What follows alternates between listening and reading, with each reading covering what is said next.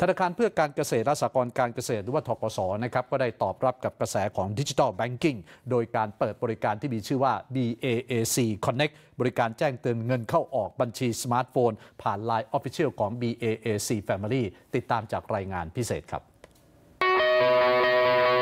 BAAC Connect คือบริการแจ้งเตือนเงินเข้าออกจากบัญชีเงินฝาก ผ่านทาง Line Official BAAC Family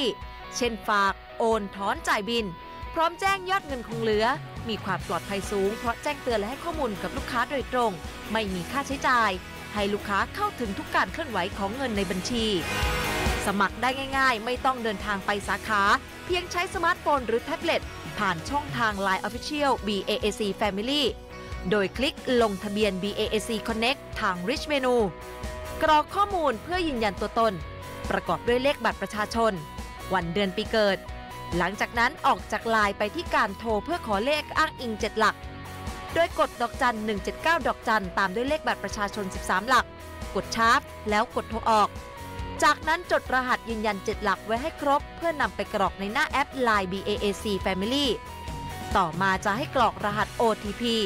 กดยืนยัน พร้อมเลือกบัญชีที่ต้องการให้แจ้งเตือน ตรวจสอบความถูกต้องแล้วกดยืนยันอีกครั้งเป็นอันสำเร็จ กรณียังไม่ได้เพิ่มเพื่อน Line Official BAAC Family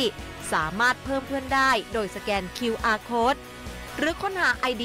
at BAAC Family ทางแอปพลิเคชัน Line นอกจากนี้ลูกค้ายังสามารถเปลี่ยนบัญชีหรือยกเลิกบริการแจ้งเตือนได้ด้วยตัวเอง สอบถามรายละเอียดเพิ่มเติมได้ที่ call center 02 555 0555